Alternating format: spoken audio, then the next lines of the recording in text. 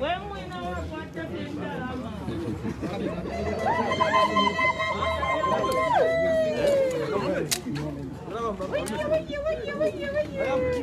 Yeah, yeah, yeah.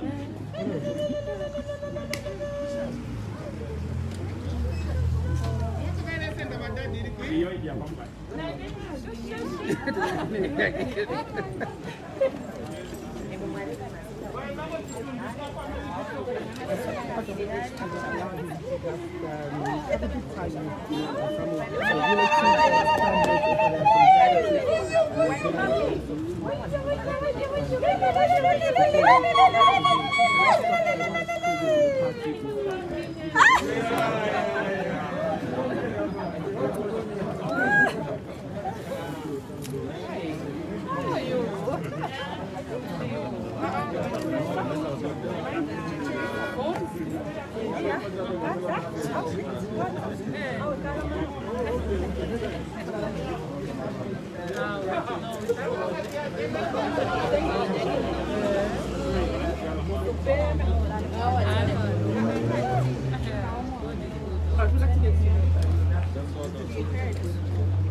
artiste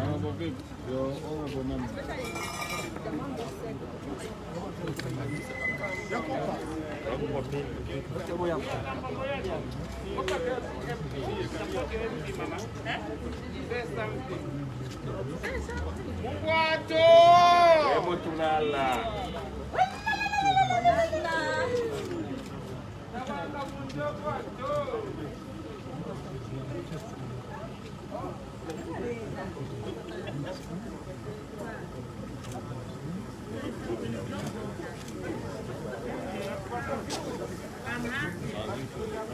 Okay, let's, let's just leave it. Malanji was released um, after spending two days in police custody. Uh, first of all, give us your reaction uh, over this release. Uh, I have to say that this is a very painful experience.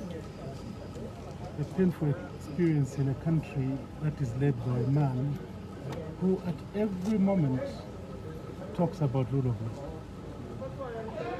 And one is made to wonder, is it him who's giving Zambians lip service when he says rule of law? And in the comfort of darkness, he's instructing officers to do the opposite? Or is it the officers who are not reading his lips correctly? Is it the officers who are misunderstanding what he's saying when he's talking about the rule of law? These questions obviously cannot be answered by us, they have to be answered by himself and his operatives. Mm. It is totally unbelievable that two people are charged jointly. One is given bond and the other is denied bond. And when you look at the composition of the two, one was a civil servant, the other was a politician. Is this an indication of the fact that the man who's governing this country is so against anyone who opposes him? Is it because Malanji belongs to the opposition PF that he must be denied bond and that lawyers must battle to secure bail for him? One other thing is to be said that as things stand now, with what happened recently in Parliament, the hopes of Zambians now are only in the judiciary. We cannot trust the executive anymore. We heard how the head of state has been chastising our members of parliament and literally telling them to shut up, not to talk in parliament. We've also heard how parliament and the head of that institution can on her own make decisions like she did a few days ago. And I'll not delve into that any further because the matter is before court. I don't want to be cited for contempt. However, these two indications and many others should show the Zambian people that as things are today, out of the three wings of government, the one that we may only rely on is the judiciary. And I pray to God that the judiciary continues to maintain its integrity and its magnanimity. What the judiciary has done today by granting this gentleman bail is obviously a thing that shouldn't have even been brought to their attention because the police alone, DEC alone, should have granted this gentleman bond so that they send him to the court while he's being, he's been bonded. For them to waste the court's time for him to go and struggle with his lawyers to apply for bail is totally unacceptable. But I'd like to end by telling the Zambian people, not all is lost. Not all is lost. The Patriotic Front shall not be shaken. We know of the number of members of parliament who are being called on a daily basis to go and appear before court. Today, as we speak, Stephen Kampyongo is supposed to be questioned in Chinsali. He was arrested in Lusaka and given free accommodation by the police and given free transport, a fleet of more than 10 vehicles taking Kampyongo to Chinsali. When he could have simply been called to go and appear before the Chinsali police, he could have gone on his own, but the state had to spend a colossal amount of money to take him as though he is uh, a murderer. Being. Huh? For a- an offense that occurred some five years ago, they dramatized the whole thing and sent a fleet of more than 10 vehicles to escort him as if he's a, a flight risk or as if he's a gangster, fearing that maybe if he's taken alone, he will run away. This is a sign to the Zambian people that what we did on the 12th of August is going to show its ugly head more and more. Zambians, let's brace ourselves. Let's make sure that whatever we, wherever we are, we brace ourselves to ensure that our rights are not abrogated by this government because it is very clear that this government is not a government that can respect the rights of any people whatsoever. Had they had any respect for people's rights, they would not have kept this gentleman in the cells for no good reason.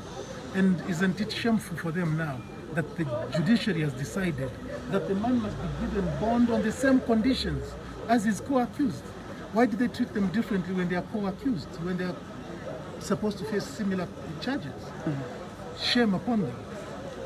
The Majeras. Okay, Honorable, would you, uh, what do you make uh, out of, you know, your arrest? Thank you very much. First of all, I must apologize uh, for having delayed you yesterday. I know you're all curious to actually have a word from me. But as you may know, this matter was still in court, um, pending determination. So I didn't want to be contemptuous. At least I uttered something that would have found me to be contemptuous with the uh, court. Like the Vice President said, you know, as for now, our backbone is actually the judiciary. Uh, when you look at uh, what I'm decided for, uh, it's actually not prosecution but persecution records in, our, in the banks in Zambia here are available. We've gotten loans from these banks, millions of dollars. The records are available. And to cite someone just because you're a politician, to say every politician must be painted black, the thief is actually very responsible.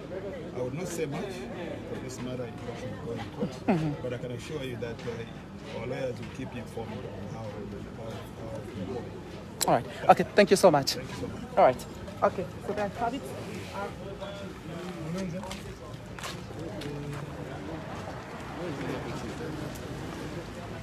Ma? Nakwata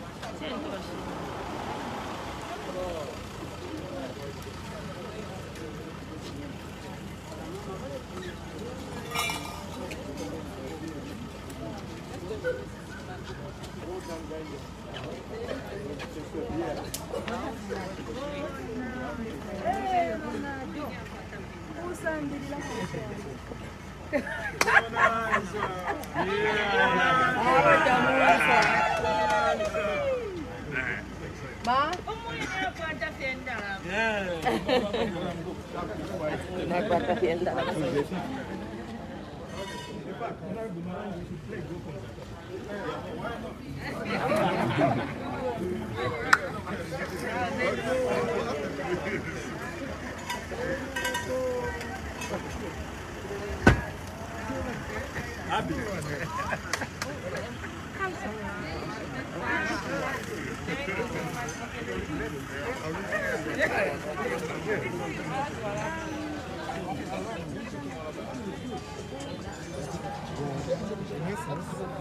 said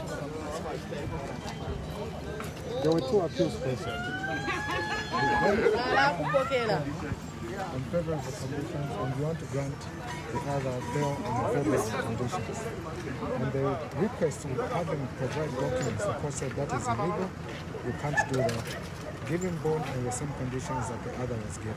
And that is exactly what has happened. How much has how much was given to them? Well, it was uh, two working sureties and uh, it is only cognizance, simply that. So that's what has happened today. Thank you.